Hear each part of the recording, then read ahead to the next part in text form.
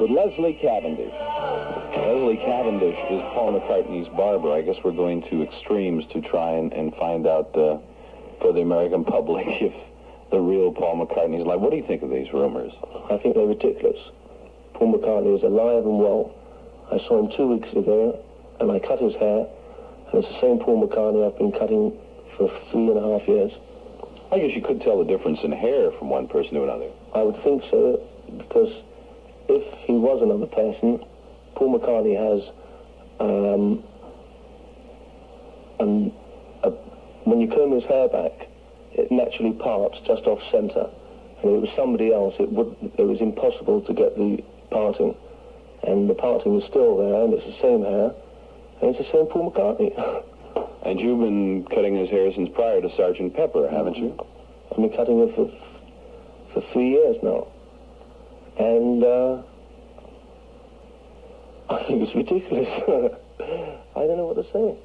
You don't see any uh, scars from plastic surgery behind the ears? There's no scars. There's nothing. You know, it's Paul McCartney. There's no scars. He hasn't any plastic surgery.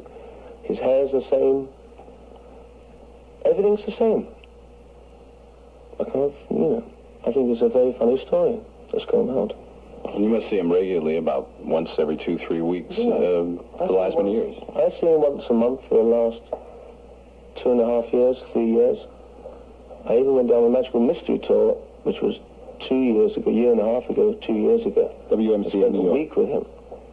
You know, and he didn't, there was nobody else there. There was just four Beatles. They find some hidden meaning in, in certain photographs that are contained in the American album of uh, Magical Mystery Tour, which I understand was two EPs over here, but it was an album there, and they put a booklet in there and everything showing pictures. And uh, you say you were around when they were filming that picture. Did you see them trying to put in any special uh, cl- uh, clues and cryptic messages to the public? None at all. I think they were there just to work and sing songs and do a film. That's what that's what everyone else was doing down there, and they didn't have time to do anything else.